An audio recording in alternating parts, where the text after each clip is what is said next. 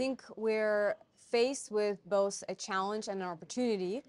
Um, a challenge given that we produce uh, so much more data right now, uh, given all the sensors um, that exist and proliferate in the world.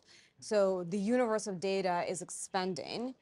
At the same time, it's becoming increasingly hard to uh, collect it and parse it for insight. Mm-hmm.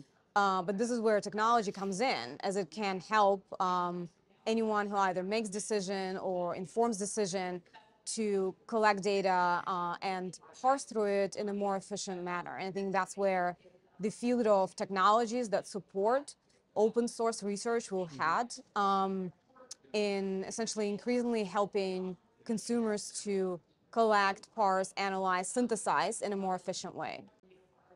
Yes. That Um, must be the hard part. I think uh, there are challenges at each step of the process, both collection, processing, analysis, synthesis of data.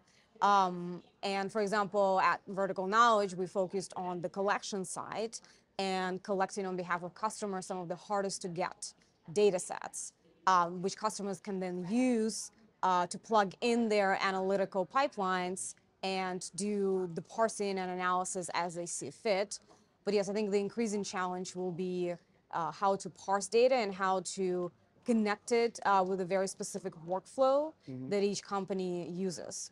I see, I see. Yeah, I think the geopolitical crisis be, become increasingly a convergence of security events, financial market events, uh, technology, given the prominence of the supply chain question in the geopolitical crisis of today. You know, as we discussed on the panel, the question of, let's say, microelectronic supply chains and their importance for the defense industry matter tremendously in this war.